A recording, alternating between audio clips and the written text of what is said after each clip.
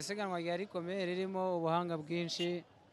Nagerageje rero gukina neza nubwo nabashije gutsinda mbaye wa kabiri. Gusa ibyo nakoze nyine n'ibira ntabwo biranshimishije cyane. Kuba samwe yaratsinze nanjye nkaba mbashe kurangiza ku mwanya wa kabiri biranshimishije cyane. Ni ibintu ni nko kuvandimwe umuntu aba yapanze. Kuko samwe kuba atsinze nurabizi yari umukinnyi wanjye imbere yari umutimeti wanjye imbere dukina muri anka so kuba atsinze rero ni byiza kuri njyewe nawe ndishimye.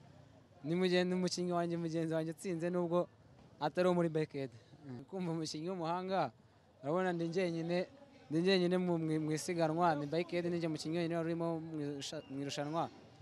Wegera rero bagenzi bawe ukaba wabasaba wegera bagenzi bawe ukaba wabasaba nyine ukabasaba ubufasha ukareba umukinnyi wagufasha mugakorana rero namusabye turakorana biba ngombwa ko bigenda neza.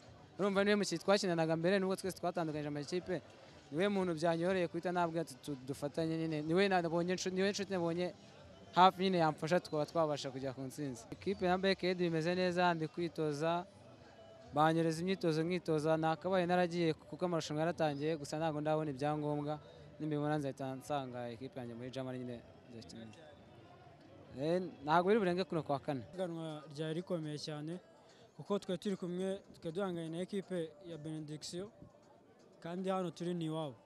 Isiganwa ryari rikomeye cyane nabashije kurikontorora mfatanyije na, Moze Eric na ekipe yanjye kuko benediction ni abakinnyi benshi. Rero byari bigoye kuba wabakontorora uri umwe. Twabashije gufatanya na ekipe yanjye ekipe yanjye kuko turi abakinnyi bakeya biranga biza bakoresha imbaraga nyinshi biza kurangira. Nkoranye na muhoza by'umwihariko tubasha gufata benediction dushobora no guhita tunayitsinda. Ah, nta kintu twavuganye na muhoza kuko muhoza ni umukinnyi twitozanya ni umukinnyi twitozanya turaziranye cyane kandi ni n'umuporofesiyoneri afite amabanga menshi agenda anyigisha mu igare ko ni umukinnyi mukuru uri porofesiyoneri rero twageze muri sipurinti akata muri inyuma mbasha kumusipurinta abasha gutsinda. Ariko by'umwihariko kuko ukuntu yari ameze pozisiyo yari arimo byashoboka akantsinda cyangwa nkamutsinda mbashije kuba namutsinda. Uruhande rwacu turishimye cyane kuko urumva ni isiganwa rya mbere dutsinze kandi ni bimwe mu bintu twari twafokasinze nubwo byari bigoye ntabwo byari byoroshye ni umukino utagombaga kutworohera ariko ntekereza ko twabashije kuwitwaramo neza imibare y'abakinnyi bakumva ibyo bakwiriye gukora tukabasha kuba success.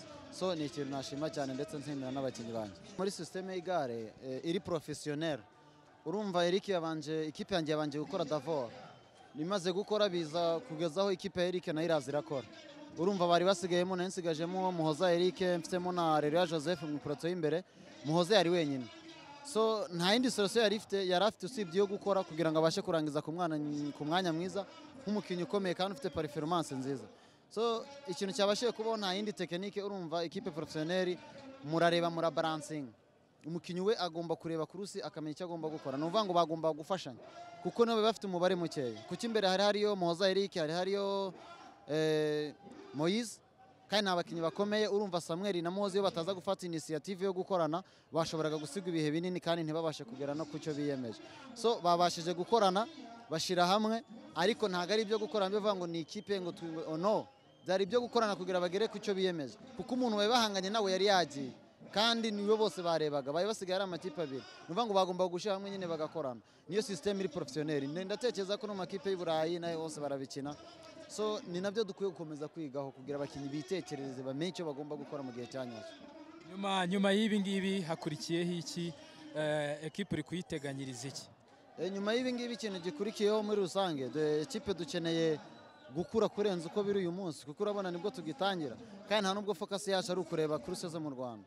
Umwaka utaha turashaka kureba ibishoboka byose ko twaba continental. So numva ikintu gikurikiyeho ni ugukaza imyitozo abakinnyi tukabazamurira urwego ndetse tugafata n'abandi bana batandukanye bafite impano zikizamuka dushobora kubona ko twasapotinga hakagira ikintu kizivamo. Kuko twe turi gukora sociale turi gukorera population y'abaturage b'abanyarwanda kugira ngo turebe aho tuva n'aho tugera.